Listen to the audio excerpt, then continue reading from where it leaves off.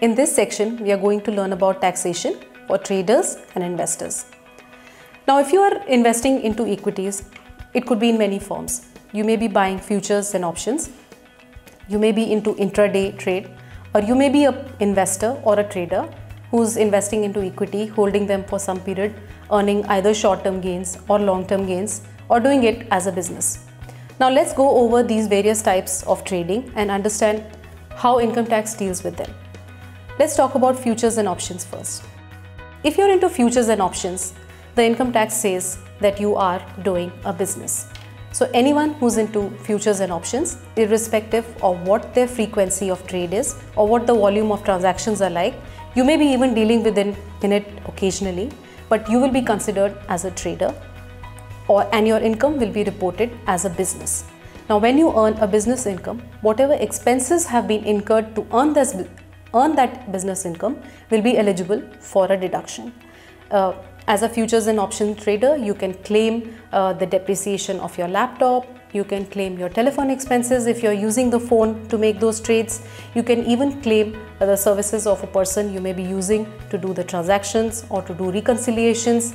You can then report this income in your tax return under the head business and profession. There may be a situation where you may have earned a loss. So if you have a loss from futures and options, you're allowed to set off that loss from your other incomes except salary income, right?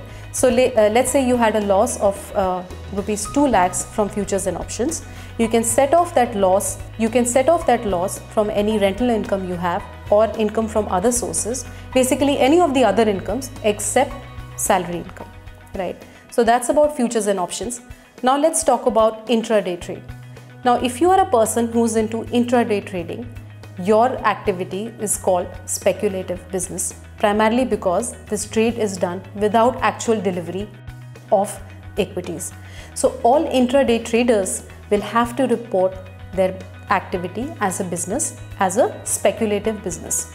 Again, you are eligible to claim all the expenses you've incurred, but it's important to understand why this is speculative and why uh, other businesses may be non-speculative because if you have speculative income then you're not allowed to set off from other incomes. You can only set off speculative losses from speculative income. So the bifurcation is very important. Remember that if you are an intraday trader, all your activity will be classified as business income and because it is speculative in nature, the set off of losses will only be available against speculative incomes. Now let's go to the third category, which is that of a trader or an investor. Now there's certain subjectivity involved in understanding how this happens.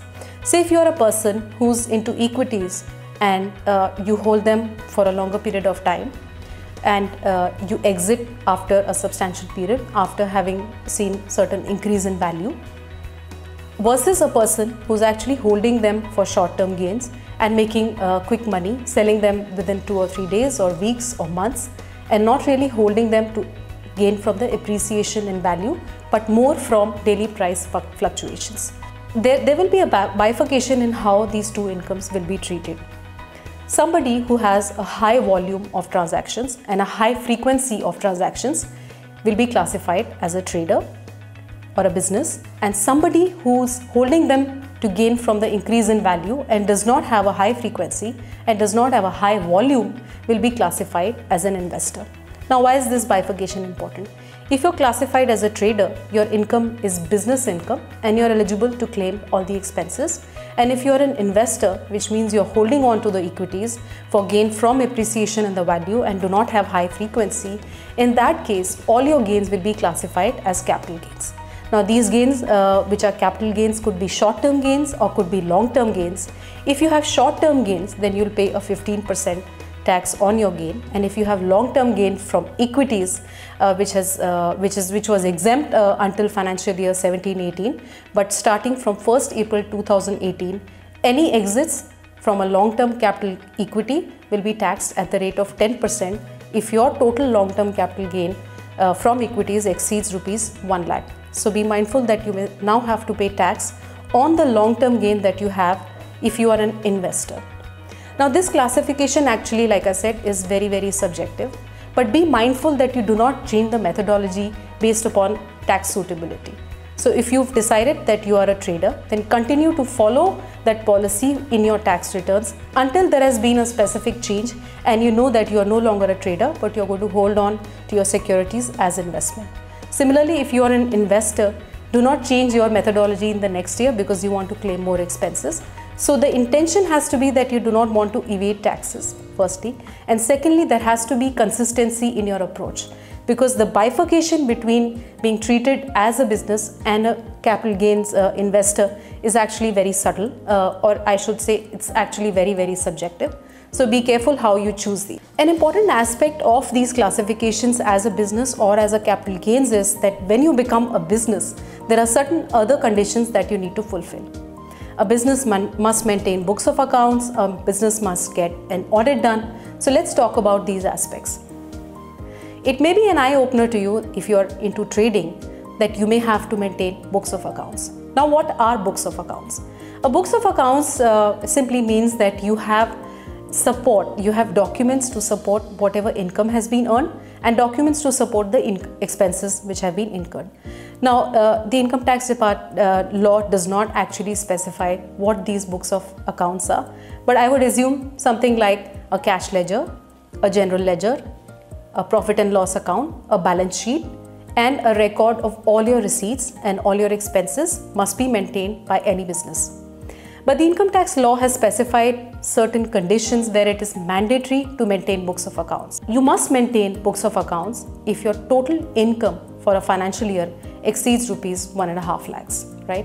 The limit earlier was 1.2 lakhs but has been increased from financial year 16-17 to 1.5 lakhs. So if your income as an FNO trader or as an intraday trader or as a, a trader who's into equities is in excess of one and a half lakhs for a financial year, then you must maintain a books of books of accounts. The other condition is uh, which is that if your sales or total receipts are in excess of rupees 25 lakhs, then you must maintain books of accounts. So if you meet any of these two conditions, it is mandatory for you to keep books of accounts. What are those books of accounts has not been exactly specified, but I would say these books of accounts are something that would help an income tax officer arrive at the same balance sheet and P&L that you would with the help of these supports. So make sure you do have these records. Uh, if you are asked a question, you are able to support your claims. The other bit is that some people who may be traders may have opted for the presumptive scheme. The presumptive scheme allows you to show your income as 8% of your total receipts now this is an interesting uh, aspect because you are a trader and you are taking benefit of the presumptive scheme. The benefits of presumptive scheme are that you do not need to maintain uh, books of accounts but uh, it goes without saying that if you're running a business, having certain records which could be electronic or in the paper format is actually very helpful. So uh, whether you're doing a presumptive business or a regular business, make sure that you have your books of accounts ready with you. Now the next important aspect uh, of uh, business for a trader could be whether an audit is applicable. Usually we hear about audits only in the context of companies which are incorporated, but even a business which may be run by an individual may be subject to audit. The income tax law says that if your total turnover is in excess of rupees 2 crores, then you must get an audit done. An audit means that you engage a chartered accountant and hand over the books of accounts and the chartered accountant will review those books of accounts and he will give you a certificate that your accounts have been audited. And this certificate has to be then uh, also shown to the income tax department, has to be there, uh, has to be put up online so that uh, they know that the accounts have been properly audited. So when we talk about the turnover limits, for applicability of an audit or for books of accounts, we have to understand what turnover means because calculating turnover for, for a business may be easy and simple because all that they need to do is add up their sales.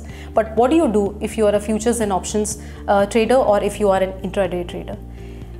In these cases, you must add the total of all your positives and negative trades without considering the negative value. So just sum up your trade values, that will be your turnover and see if it meets the threshold. An important part of supporting documents for a trader is broker credit notes. So make sure your broker is providing you these notes and these will serve as uh, books of accounts as supporting documents to support the income that you've reported in your tax return.